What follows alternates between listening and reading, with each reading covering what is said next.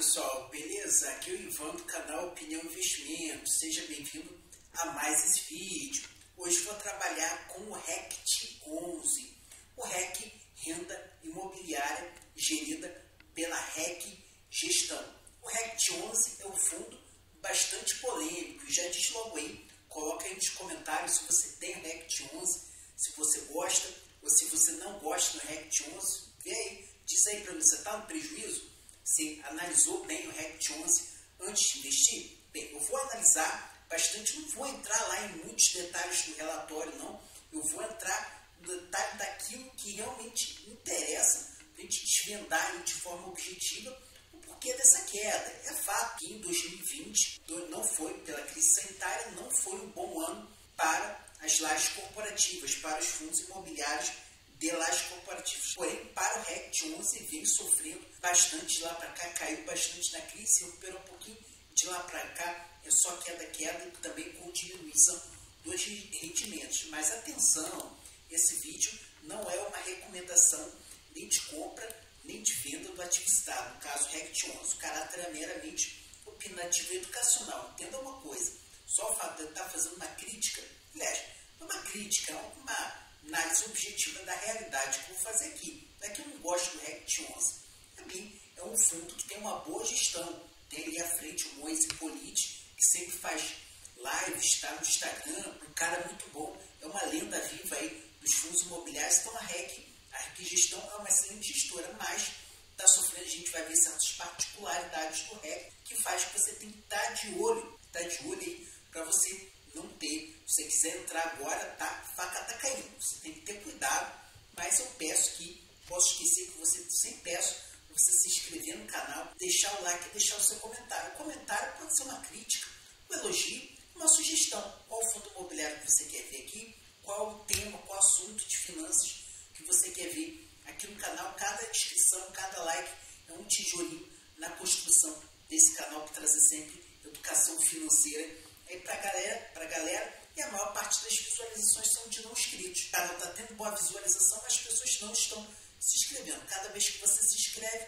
o YouTube recomenda mais esse vídeo, os vídeos, todos os vídeos, para mais pessoas. Se você conhece alguém que tem Rect 11, tem um amigo, de repente que não conhece esse canal, compartilhe esse vídeo com um amigo, que seja um amigo só. Você tem um amigo que tem Rect, está meio chateado, o Rect está caindo, está desanimado, manda esse vídeo para o seu amigo ou com algum, compartilhe com algum grupo aí, qual você faça parte. Já vou logo começar nosso querido, tão amado status invest. A gente vê aqui cotação atual, R$ 72,69, uma desvalorização em 12 meses, está puxado. Uma desvalorização de 27,6%, mas o yield está 10,54%. E aí vem a primeira lição do vídeo, que não tem nada a ver só com Rect 11, tem a ver com o aprendizado de você investir em imóveis. Quando você está investindo em fundos imobiliários, você está investindo em imóveis. Então, você não está comprando um apartamento seu, uma, uma casa, um terreno. Não, você está comprando uma cota de imóveis, cota de fundo imobiliário, que é um pedacinho ali do imóvel. Então, veja, você não pode usar só o dividendo, só o dividendo que ele está pagando pela porcentagem, que o dividendo RECT está diminuindo ao longo. Tem problema de vacância, né? agora com a retomada da economia, as lajes corporativas estão se recuperando. Eu acredito que o RECT tem uma gestão boa, a gestão está trabalhando bastante. Não é uma crítica ao RECT 11, estou fazendo análise do dado objetivo da realidade.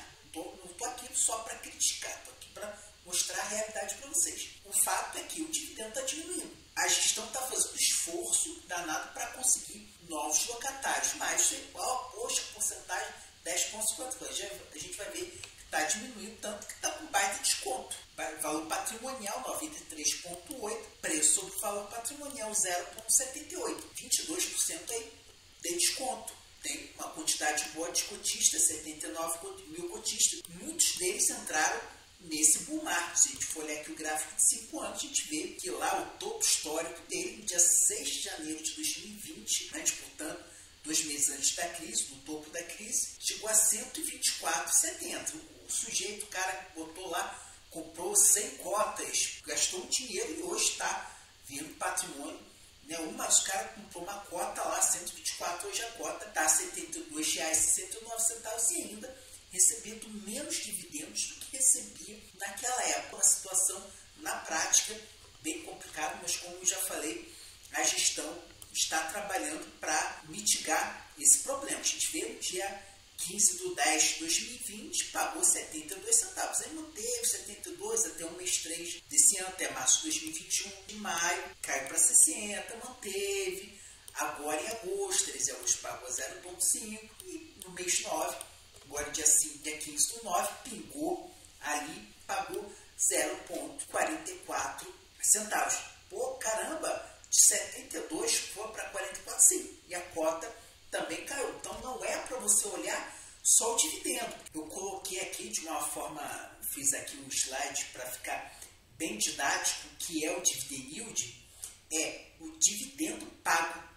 Ação sobre o valor unitário da ação, no caso é a cota do fundo imobiliário, mas eu peguei a ação, você bota preço do fundo imobiliário vezes 100. Então, se o valor unitário da cota diminui, aí o dividendo continua o mesmo, o dividendo sobe, só que aqui o valor da cota diminuiu muito e o dividendo pago diminuiu. Só que o valor unitário da ação diminuiu muito e o dividendo também diminuiu,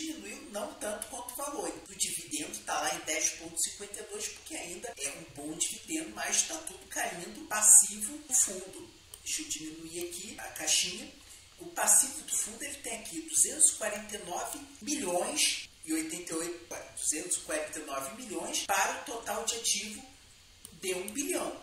É um fator, é uma boa porcentagem, um quarto do total em relação aos ativos, quase um quarto é de passivo do fundo. Tive as lives aí do REC, eles não esperavam, claro, que viesse a crise sanitária.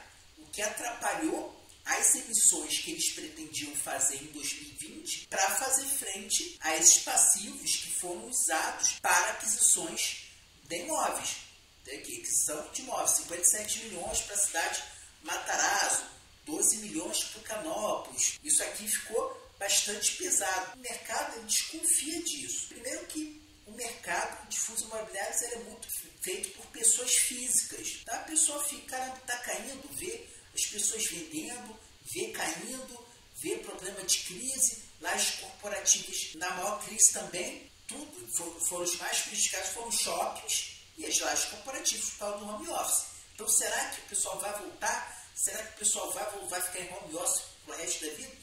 Aliado a um alto passivo, é o problema das emissões, porque não conseguiu fazer as mesmas emissões ela quer para captar dinheiro para antecipar essas dívidas, então a coisa complicou bastante. A gente vê aqui o gráfico pagando, está pagando 0,72 e agora está pagando 0,40. E outra questão problemática, não é problemática, essa é uma característica do fundo, é a qualidade.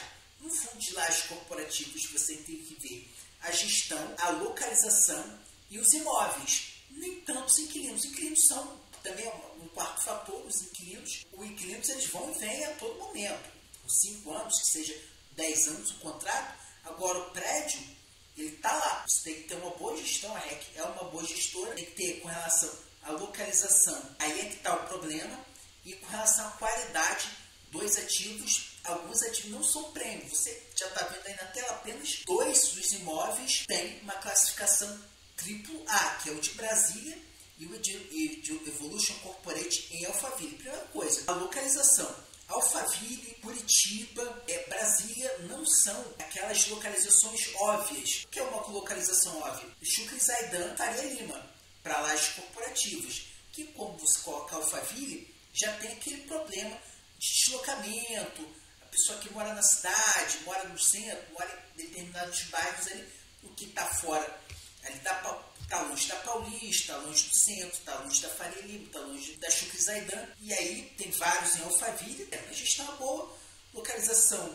Alphaville não é lá uma localização muito boa, sinceramente, e com relação aos locatários, tem Elo, tem normal, Prevent Sênior, o fato também de ser os ativos A, então é, é uma vacância. Para você conseguir recuperar isso, cotista é ruim, porque ele tem que ser ativo A. Então tem muita negociação aí, né? o locatário quer, na hora de um triplo A, para o locatário ficar tentando diminuir o valor do aluguel é meio difícil, mas você tem um A, a coisa fica bem mais complicada. A gente vê aqui total de taxa de ocupação de 66,8%. Então, uma taxa de ocupação bem. Né, a gente teve aqui o Parque Cidade Brasil, o edifício AAA está com uma taxa de ocupação de apenas 39%.